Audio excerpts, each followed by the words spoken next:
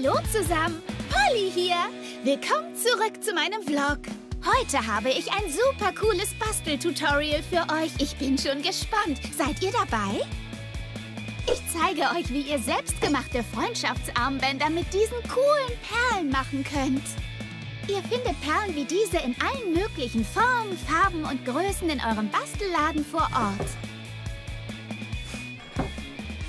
Also, dann legen wir mal los. Hm, mal sehen. Wir brauchen einen Faden. Wo habe ich ihn nur hingelegt?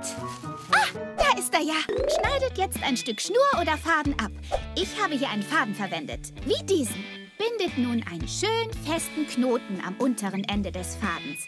Das verhindert, dass die Perlen runterfallen. Du kannst die Perlen aufziehen, wie du möchtest.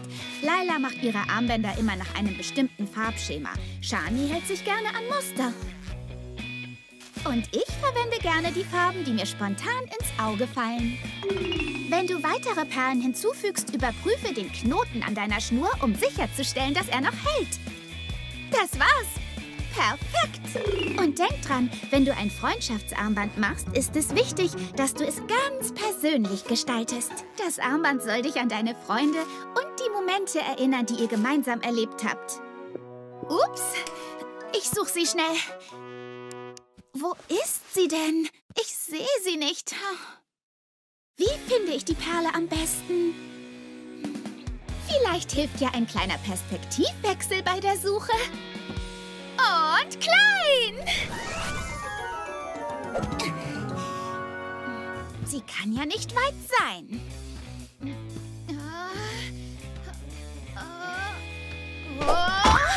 Autsch! Was war das? Wo kommt die denn her? Oh, ich weiß es. Wir waren letztes Jahr auf der Klassenfahrt an diesem schönen Strand. Guckt mal, diese besonders schönen Muscheln kamen in meine Sammlung. Ich habe so viele gefunden. Ja, ich liebe besonders diese gedrehten und glänzenden. Was ist mit dir, Polly? Welche findest du am schönsten? Diese hier. Und das war der Beginn meiner schönen Muschelsammlung.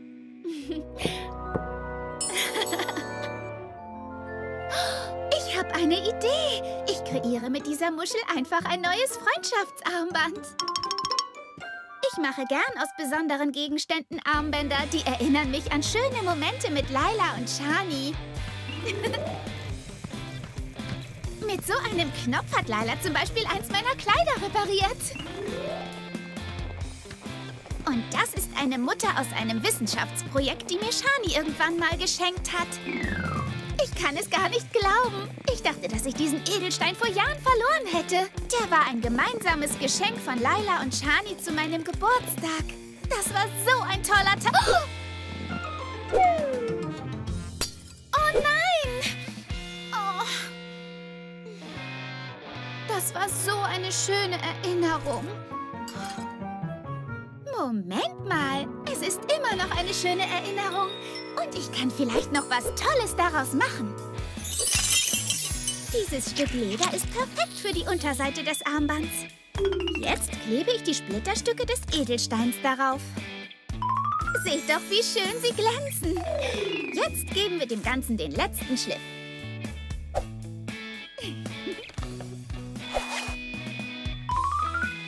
Zuerst die Mutter. Jetzt die Muschel und den Knopf. Und das war's. Das ist ein ganz persönliches Freundschaftsarmband. Seht ihr? Es gibt so viele Möglichkeiten, ein schönes Freundschaftsarmband zu basteln. Wenn etwas von tiefstem Herzen kommt, dann ist es am Ende immer wunderschön. Es macht immer Spaß, kreativ zu sein und Dinge wieder zu recyceln, so wie mein Edelstein-Freundschaftsarmband. Es spiegelt meine Freundschaft mit Shani und Laila perfekt wider. Und ich finde, dass das Armband jetzt sogar noch wertvoller ist als der ursprüngliche Edelstein vorher. Mir hat es viel Spaß gemacht. Okay, ich verabschiede mich für heute und denkt immer daran, klein, ganz groß. Bis dann! Hey, ihr Lieben! Polly hier. Willkommen zurück zu meinem Vlog. Also, Laila hat heute endlich ihr Sommerpraktikum in einer Fashion-Boutique im Einkaufszentrum angefangen. Und sie war super aufgeregt. Zum Glück waren Shani und ich da, um ihr zu helfen. Laila arbeitet doch schon wirklich hart. Wie konnte sie noch dieses Sommerpraktikum finden? Einer Freundin ihrer Mom gehört die Fashion Boutique. Und als sie Lailas letzte Kreation gesehen hat, hat sie sie einfach eingeladen. Wow, wie großartig. Sie muss sich so freuen. Oh mein Gott, mein erster Tag und ich komme schon zu spät. Deine Schicht fängt doch erst in einer Stunde an. Du hast noch ewig Zeit. Nicht, wenn man seine Haare und sein Outfit aufeinander abstimmen muss. Hm, entspann dich. Komm, wir helfen dir dabei. Danke, Leute. Oh, das passt einfach nicht zusammen. Also für mich sieht es gut aus. Oh, ich weiß nicht. Ich bin so nervös. Wie soll ich Leuten helfen, wenn ich mir nicht mal selber ein Outfit zusammenstellen kann? Laila, du bist eine brillante Stylistin. Vertrau einfach deinem Instinkt. Oh, ich glaube, da kommt gerade ein Kunde rein. Oh nein, was mache ich denn jetzt bloß? Hm. Ich habe eine Idee. oh, und klein. Nimm uns einfach mit. Wir verstecken uns in deinen Taschen und wenn du einen Ratschlag brauchst, helfen wir dir.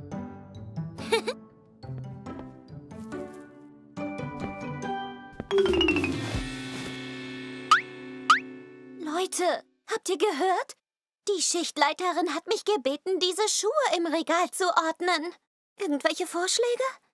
Okay, das ist einfach. Ordnen wir sie einfach in einer logischen alphabetischen Reihenfolge an. Genau wie Bibliotheksbücher. Die blauen zuerst, denn B kommt vor G für gelb. Wie wäre es mit einem praktischeren Ansatz? Die Sommerschuhe auf eine Seite und die Winterschuhe auf die andere. Aber Sneakers sind weder Sommer- noch Winterschuhe. Siehst du? Mein System ergibt mehr Sinn. Aber das hier ist keine Bibliothek, Shani. Laila? Ich wusste nicht, dass du hier arbeitest, Laila. Oh, hi, Mrs. Pocket. Ich mache hier mein Sommerpraktikum. Oh. Ich versuche nur etwas Neues mit der Auslage. Kann ich Ihnen vielleicht helfen? In der Tat, ja. Ich möchte einen Hut kaufen. Ich zeige Ihnen die Hutkollektion.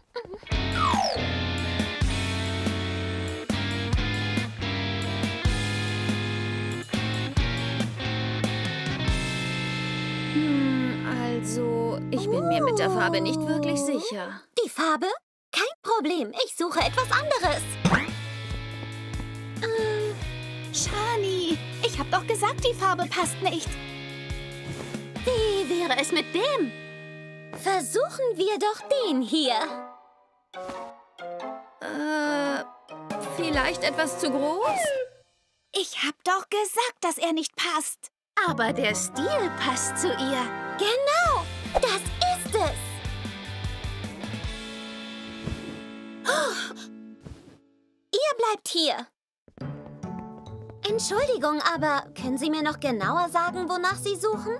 Ich suche nach einem Vintage-Look. Na, mal sehen. Wie wäre es mit diesem? Ich liebe ihn. Vielen Dank. Gern geschehen. Ist alles okay? Sorry fürs Durcheinanderbringen, Laila. Ja, und sorry fürs Streiten. Nein, schon okay. Ihr wolltet ja nur helfen. Aber du hattest recht, Polly. Ich muss meinem Instinkt vertrauen. Leute, wie findet ihr das hier? Eine farbliche Anordnung nach den Farben des Regenbogens. Wow, wirklich gut gemacht, Laila. Ein richtiger Eyecatcher. Vielen Dank. Und vielen Dank nochmal für eure Hilfe. Ich weiß, ihr habt es nur gut gemeint. Ihr seid die allerbesten Freunde. Laila hat sich an ihrem ersten Tag so gut geschlagen, weil sie ihrem Instinkt vertraut hat und mit Selbstbewusstsein gearbeitet hat. Okay, das war's für heute. Und denkt daran, klein, ganz groß. Hi alle zusammen. Wie geht's euch? Schon eine Weile her seit meinem letzten Vlog. Also habe ich gedacht, ich bringe zwei besondere Gäste mit, um das zu einem besonderen Anlass zu machen. Hallo, ich bin Laila. Hi, ich bin Shani. Ich habe heute mein Zimmer aufgeräumt und habe dabei ein paar Fotos von früher gefunden. Die haben so viele Erinnerungen zurückgebracht. Oh, wow, das ist so süß. Ich wusste nicht, dass du dieses Foto hast. Erinnert ihr euch noch daran, als wir uns damals für Geburtstagspartys verkleidet haben? ja, seht mal, Laila hat schon damals die allerbesten Outfits zusammengestellt. Guckt mal, die Schnitzeljagden, die Shani immer organisiert hat. Ja, Shani, du hast uns die allerbesten Hinweise hinterlassen. Und du warst immer so unfassbar gut im Versteckspielen, weißt du noch, Shani? Du hast immer die besten Verstecke gefunden. Das hat so viel Spaß gemacht. Die Welt wirkte damals noch so unfassbar groß. Das stimmt. Und wir konnten uns überall verstecken. Hm, Heute wäre es nicht mehr dasselbe.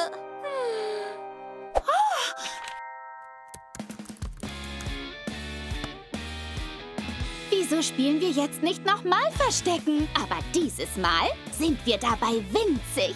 Alles wäre riesig. Und wir hätten mehr Plätze, um uns zu verstecken. Genau wie damals, als wir klein waren. Kommt schon, Mädels. Lasst uns Verstecken spielen. Ja, bitte. Was für eine tolle Idee. Und klein. 98, 99, 100. Eins, zwei, drei, ich komme. Mal sehen.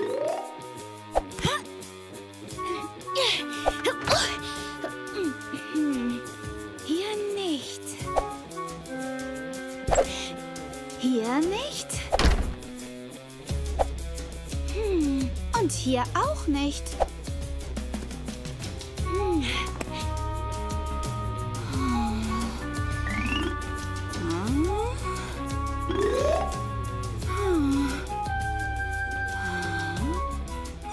Glaube, ich weiß, wo Laila ist. Haha! Tada! Hab dich! Alles klar. Das war wohl einfach zu einfach. Weißt du, wo Shani ist? Ich brauche deine Hilfe, um sie zu finden. Hm, tja, nicht hier. Äh. Hm. Nope, hier auch nicht. Hm.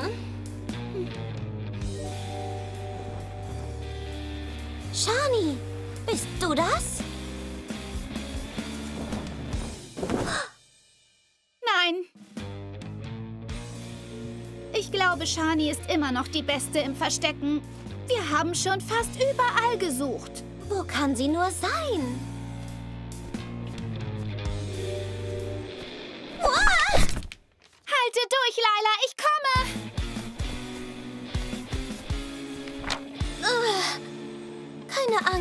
Mir geht's gut. Guck mal. Finaler Hinweis. Um die Lösung zu finden, muss man manchmal wieder zurück an den Anfang. Ich erinnere mich. Shani hat am Anfang ihrer Schnitzeljagden immer irgendwelche Hinweise hinterlassen. Und wir haben sie erst ganz am Ende gefunden. Warte nur ab, Shani. Ich werde dich schon finden.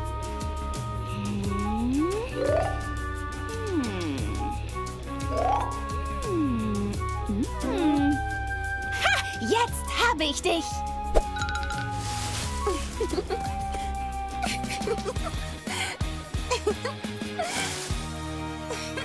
Gut gemacht, Polly. Seht ihr? Verstecken ist immer noch genauso wie damals, als wir klein waren. Du bist immer noch die beste, Shani. Also, was für Spiele habt ihr gespielt, als ihr kleiner wart? Bis zum nächsten Mal. Bye. Bye. aus wie Peaches Halsband. Ich glaube, wir sind ganz kurz davor, sie zu finden. Und klein!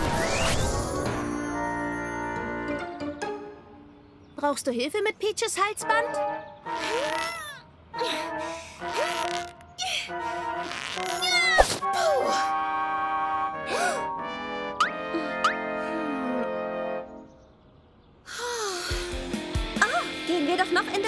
Das Tiergeschäft, bevor die Mall schließt, Polly. Vielleicht haben die Peaches gesehen.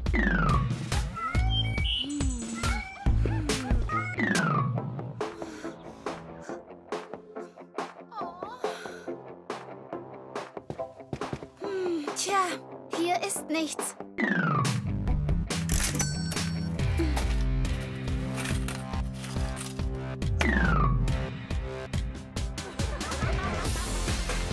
Peaches, wo bist du bloß?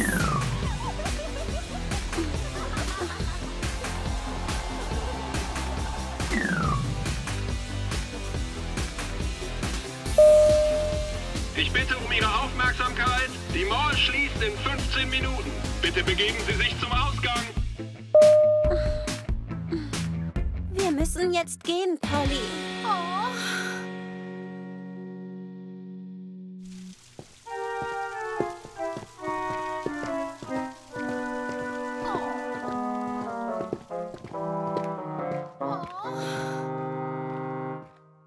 Es gibt doch noch viele Orte, an denen wir noch nicht gesucht haben, oder? Nein, wir haben jetzt an all ihren Lieblingsplätzen in Littleton gesucht. Und es wird langsam spät. Sollen wir zurück zu dir nach Hause gehen? Vielleicht ist sie da. Und falls sie da nicht ist, können wir deine Schritte von Anfang an nachvollziehen, so wie bei meinem Ring.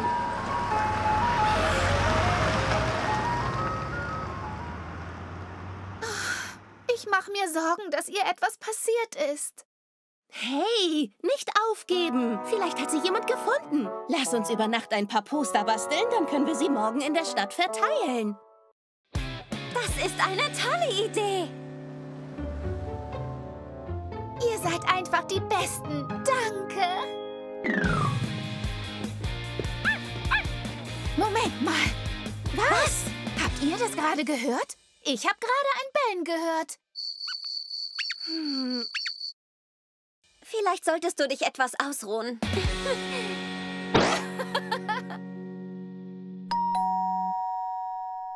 Komme gleich!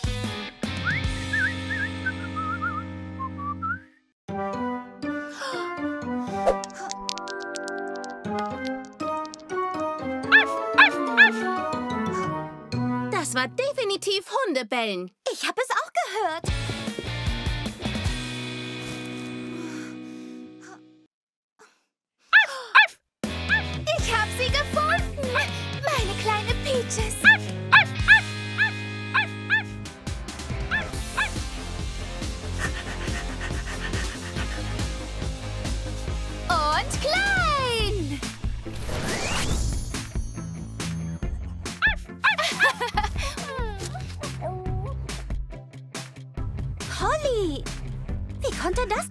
Passieren?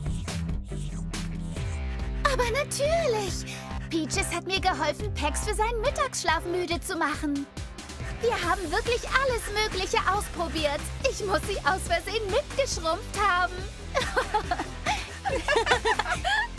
Polly, bist du das? Schnell, verwandel dich zurück, bevor dein Dad dich sieht. Und groß.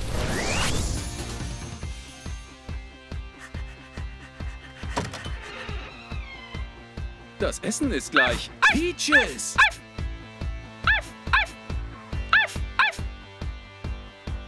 Kommst du, Polly?